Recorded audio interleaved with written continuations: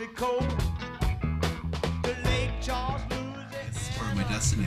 Uh, there was a picture of me as a kid, uh, a few months old, and I had a record in my hand before I knew how to talk and before I knew how to walk.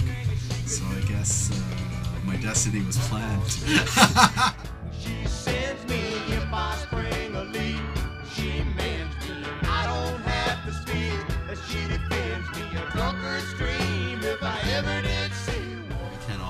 musicians. We all, uh, you know.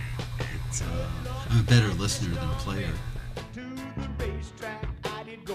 My mother always wanted me to become a doctor and a lawyer or something like that. Well, what can I say?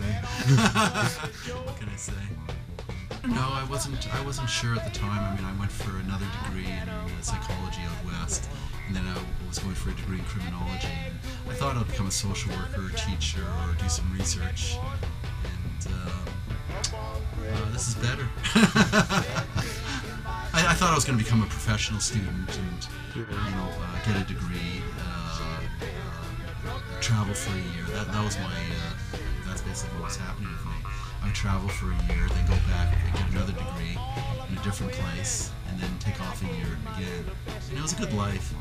You know, it was. You didn't know what you wanted to do, so I mean, I, I guess I was a professional student and traveler. And then you got tired of poverty.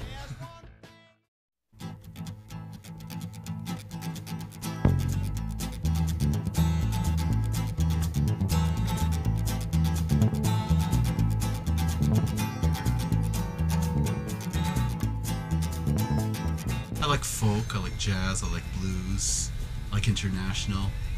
I'm all over the place. I like 60s rock. Oh god, Kingston doesn't know me like that, but I had hair down to down past my ass, and uh, I had a beard uh, all the way down. And, oh yeah, yeah. but there was a lot of festivals in those days.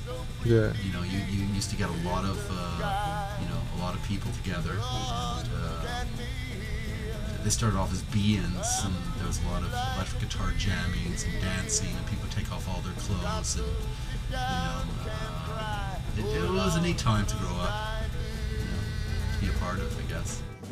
I've, been to. There was this um, a festival uh, for three days uh, in Toronto. It was called the Train, and it was Jimi Hendrix, The Doors, Janis Joplin, uh, on and on and on. Grateful Dead. Someone put acid in the Coke machine on Saturday night, and uh, whether you liked to liked it or not, uh, you're pretty spaced out. And it was quite an experience that concert.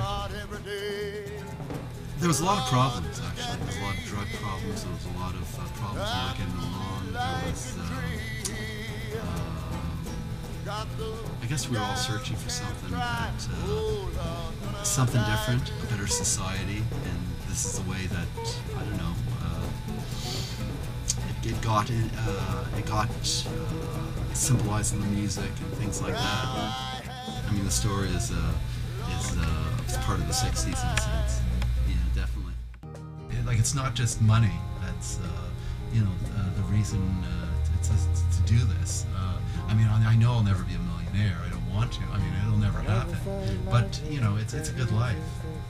You know, it's uh, what can I say? Keeps you young, I guess.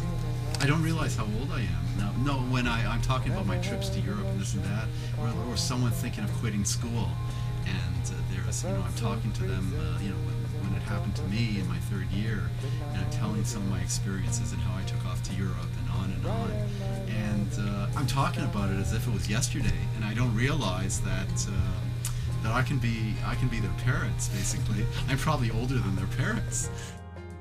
And that's why I couldn't run just a regular CD show. It, it, it, you know, I wouldn't last here very long. It's just not me. So,